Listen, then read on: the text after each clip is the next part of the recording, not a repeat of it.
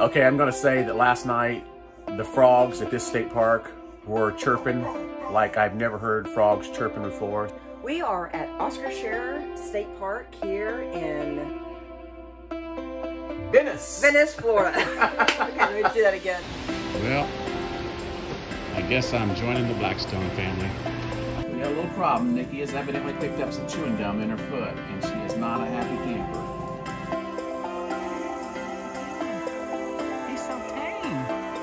She ran out and left me and Nikki in her dust. Hi, I'm Chuck. And I'm Allie. And we are AlliChuck Adventures, and this week we are at Oscar Scherer State Park in Venice, Florida. If you are new to our channel, be sure to hit that subscribe button and ring that bell notification so you can follow us on our journey.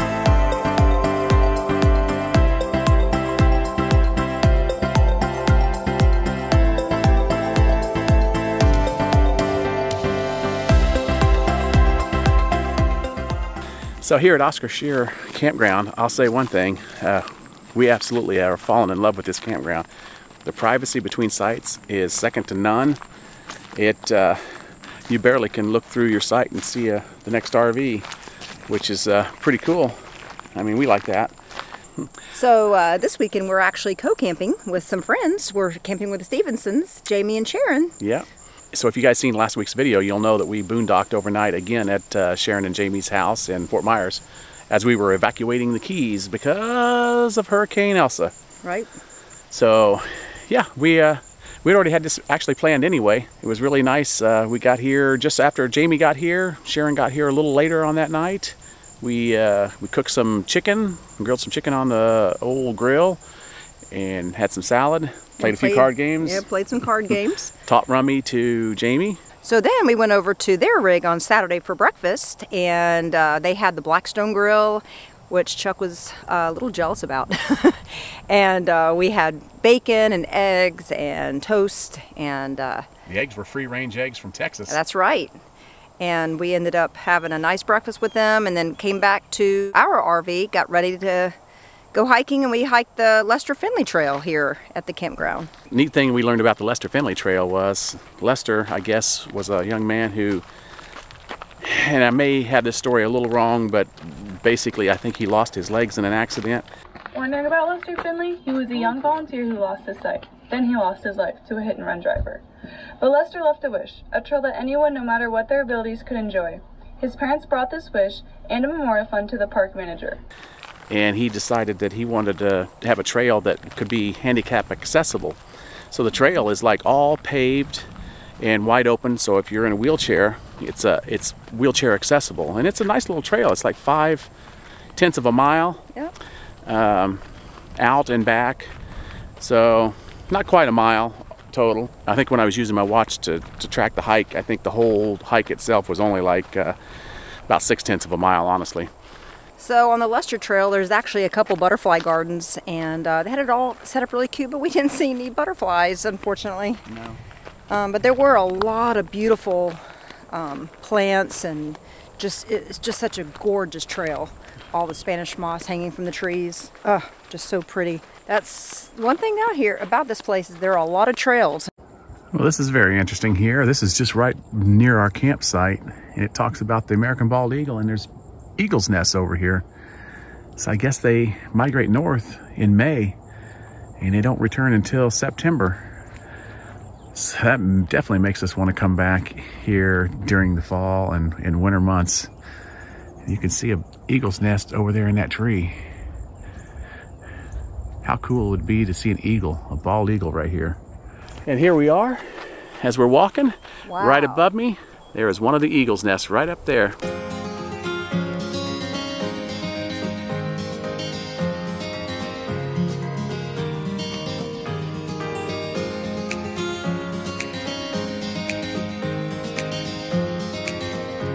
After we got done hiking the Lester Finley Trail, we did go over to where the canoe and boat launch is, and we uh, checked that out. We actually thought about airing up the paddle boards this time and, and, and going out. Uh, I was a little concerned about paddleboarding with Nikki here and these waters with potential for good potential for gators. So we just decided it was really hot. Let's uh, let's just skip the paddleboarding this weekend. But uh, Jamie and Sharon did go out on their kayak Saturday, or was that early sun, Sunday. early Sunday morning, and they said it was a really nice little paddle. But uh, we're just going to save that for probably when we come back in the fall. And it's a little bit, uh, a little nicer weather. After the hike, we decided to go to Publix and get all the fixings for Chuck's famous foil packets. so we he decided to make the barbecue chicken, and uh, we had some friends join us later that evening. Fran and Christian came out, and we had dinner. And we decided to go over to the Stevensons um, RV because they have more space set up for playing card games and so forth. And we ended up learning a new game called Left, Right, Center with dice, and oh, it was fun. When we finally got Allie out of bed on Sunday afternoon, eh, I mean, she was up probably by 11 a.m., but 11 a.m. by 11 a.m. at least by 11 a.m. she was back awake. We uh, we loaded up the truck and all of us went down to check out the town of Venice and never really explored Venice. It was a cute little town, I have to say.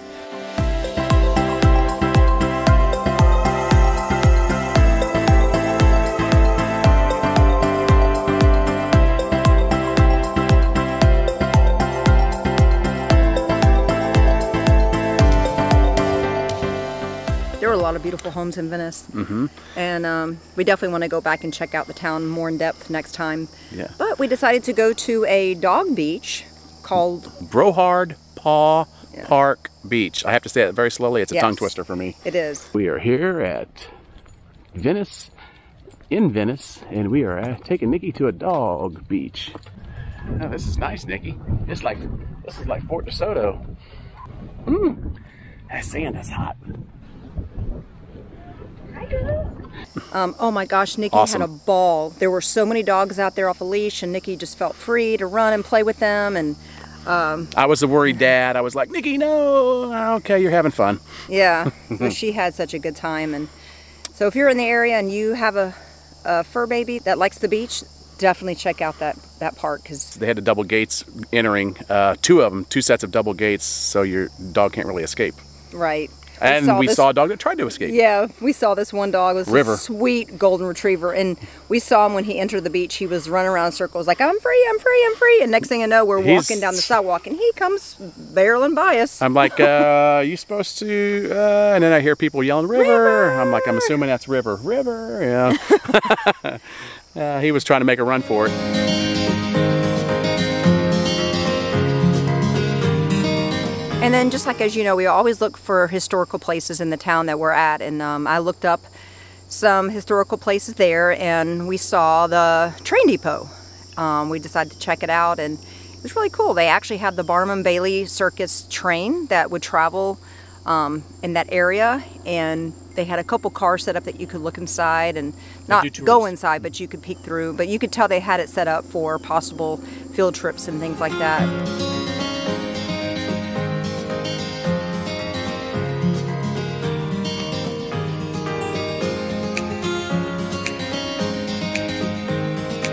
So I just took a shower and I thought I would touch on something that we have started doing for the last three trips in Aquila, and that is instead of just hooking up city water and running city water and worrying about pressures and pressure regulators and all that, when we get to the campsite, we fill our freshwater tank, which holds 75 gallons of water, fresh water.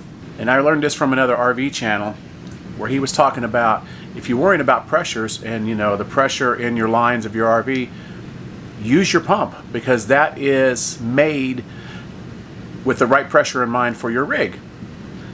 Well, there's been so many times we've been camping where either the pressure is really high and we have to use the pressure regulator, or the pressure most of the times is very low and we don't have very good water pressure like for taking showers. So we started trying this like three trips ago, and I have to say, I think this is the way we're going to go from now on. We just, when the water gets a little low, I refill the tank outside. But now we're getting consistent water pressure with our showers. It's always the same. Consistent water pressure at the sink, here in the kitchen. So yeah, I, I don't know if anybody else out there has done this sort of thing or has tried this other than when you're boondocking, but it's something that we're going to continue doing even when we have the full water hookups at campgrounds. And uh, it's working out great for us. So if you've never tried that, you might want to try it. Especially if you are like us and you've had issues where you've been at campgrounds and the water pressure is very low. Anybody else out there has tried this, you know, drop us a comment down below. Let us know what you think with using your water in your freshwater tank compared to using just the city water hookups at campgrounds. And I have to say that it's actually worked out very well at this campground because our water hose, as you can see here, is stretched as tight as it can go. Uh, I could not go up through the underneath part of the wet bay here and leave it hooked up. That's probably why I'm going to have to get a second hose like we used to carry a second hose for extensions. Never, hardly ever, ever had to use it, but, but in this case we could have used it here. But I was able to hook it up and fill up our freshwater tank and uh, that'll probably last us for the three or four days that we're here. We're going to go over and enjoy some lunch with the Stevensons and we're going to hike some of the trails here at Oscar Scherer State Park and see what all this park has to offer. How's it going? Good. Ooh, that smells marvelous. You want to go any cool off? So I think Allie and I have decided we're going to get a Blackstone grill. Maybe not one as fancy as this.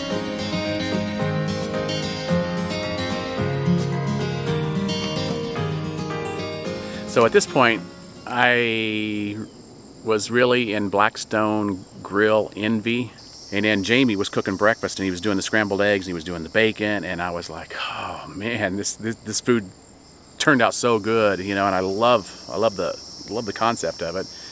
And I said to Allie, I said, Can I get a Blackstone grill? And she was like, Okay. Yeah, it'll benefit me too because I get to eat his yummy food. So we went to Walmart. They had a few in stock. I picked up one. Okay, so the box is a little messed up, but I did pick up me a 17 inch Blackstone griddle and I'm joining the Blackstone family.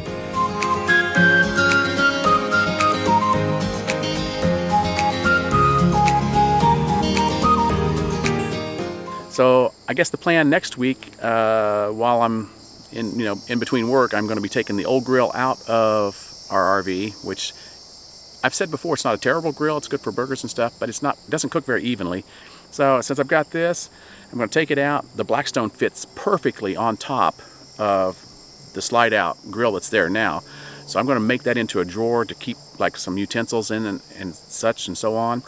And then when I'm done with the Blackstone, it literally fits right up into the cubby above where it slides in perfectly and it's it's just going to ride there so I'm pretty happy with it I've already cooked bacon I've cooked pancakes I've cooked hamburgers I've cooked uh, like hibachi style peppers and we're to have salmon tonight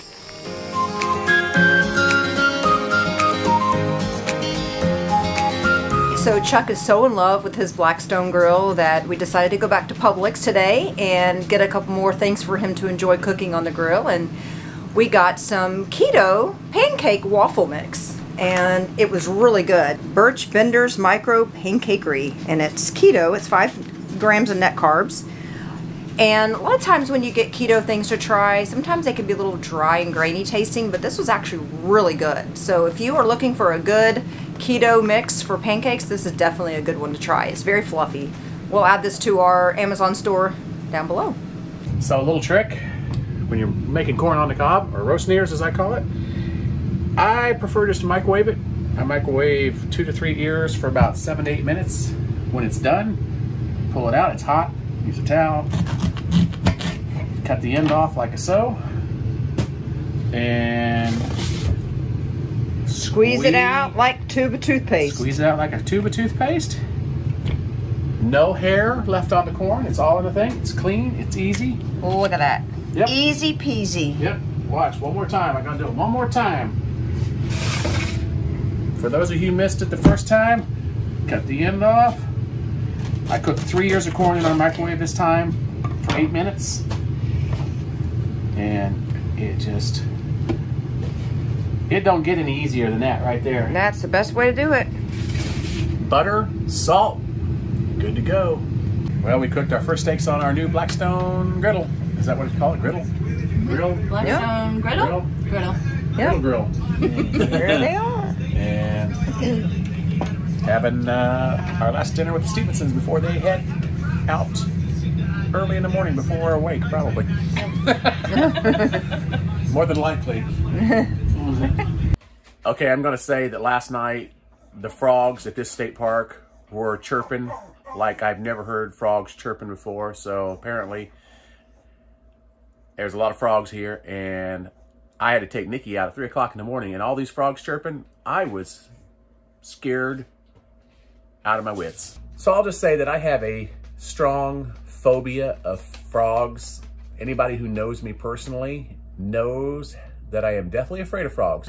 So originally we had paid for all the way through Tuesday morning. We were going to leave here Monday evening because Allie's got uh, some appointments in the morning on Tuesday. But I talked her into just getting up early on Tuesday morning and we'll head out. We were just enjoying this park so much here. It's uh, there's so much wildlife with the rabbits. I haven't never seen so many rabbits. Uh, I know, uh, right? There's more rabbits than I've seen squirrels, honestly. yeah. Earlier we were sitting and watching TV and I happened to look over at the sofa and Nikki was sitting there biting on her feet. And I looked over, I'm like, what's going on? And we looked at her, she had gum stuck in her paw. Poor thing was shaking and so we tried to get it out. We don't even have a pair of scissors here in the RV, so we had to get some scissors, scissors while we were there at Publix as well. But we got it. We did. Poor And she's thing. happy now. She is. Are you a happy girl now? she's getting ready to go do some more hiking, aren't you? So here's the trail map that they actually give you um, when you go to the front office, and um, it's really nice that they actually have a specific map trail. Yeah, just for a lot the of trails. t- yeah, a lot of times when you go to state parks, they'll give you uh, the Just whole overview. overview. Um, but this shows the Lester Finley Trail. This is the ranger station, and this is what we did yesterday. Um, this is what we're going to check out now, which is the South Creek Nature Trail. It goes right by South Creek. All right, so we are hiking the South Creek Trail. Well, we're trying to hike the South Creek Trail because Nikki's making it a little bit more difficult than it should be because she wants to smell every leaf and every piece of grass that she can. Ah, That's what you do. it's kind of cool. They have these little markers along the trail here. This is uh, number two. Don't know what it means, but uh, we just passed number one. They have arrows pointing. And they also have alligator warning signs.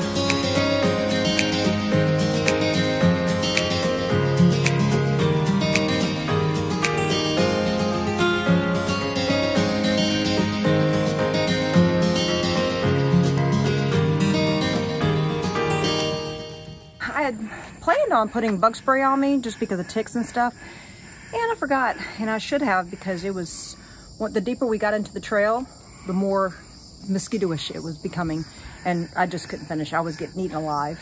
Yep. You had to come back. She had to run out. She ran out and left me and Nikki in her dust. oh. I didn't get bit once, so I don't have the kind of blood that they like, apparently. So looking at the campground map here, they have 98 sites here. And it, sites 70 through 90, I believe, are not pet friendly because of being so close to the water. And probably because of the alligators. It's quite a large campground.